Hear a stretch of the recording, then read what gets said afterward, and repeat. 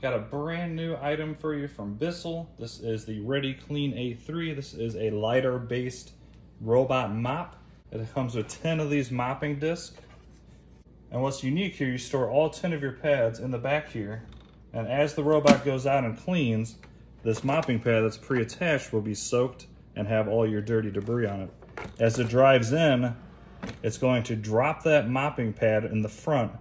And as it goes back, this one's gonna automatically lower a different mopping pad. So it's gonna go in, pick up the new mopping pad, where this is the old pad, and when it comes out, it has a brand new pad.